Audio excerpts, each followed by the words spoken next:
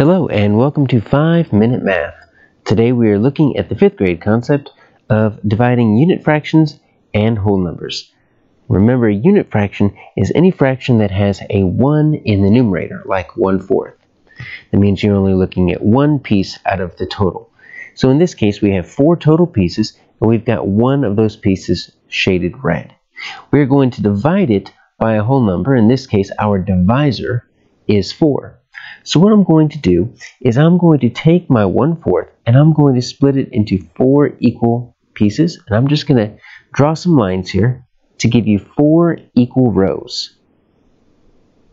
So you see now we have four equal rows and each row has one of these pieces. And so what we're going to look at is when we take our 1 fourth we divide it into four equal pieces, we want to see how many pieces are actually left in each of those four sections. And each of these four sections has one little tiny piece. But instead of fourths, we now have four sets. And each of these sets has four pieces. So four sets of four, I actually took my fourths and I broke it up into sixteenths. So if you take your one fourth and you divide that into four, you're going to have one piece out of total of 16. So your answer is 1 16th. Let's look to see how we can divide whole numbers by unit fractions using number lines. With this problem, we have actually switched the values of the divisor and the dividend.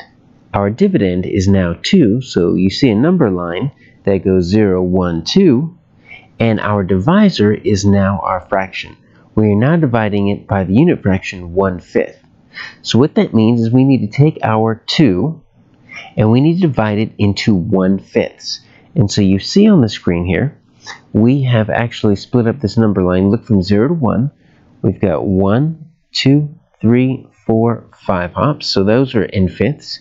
And then from 1 to 2, we also have 1, 2, 3, 4, 5 hops. So the question is, if I take my 2 and I divide it into 1 fifth chunks, how many one-fifth chunks do I have? In two sets of five, that is going to make 10. So 2 divided into one-fifth chunks gives you 10 chunks. Now, let's let you try. Here are your two problems. On the top, we have 1 tenth divided by 3. Then on the bottom, we're taking 5 and dividing it into 1 third chunks. Take a moment solve these two problems, and when you have the answer, go ahead and start the video back up and check your work.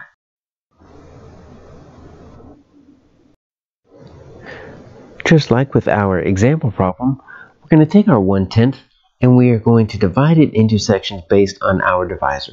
So our divisor is 3, so I'm going to draw some really long lines here.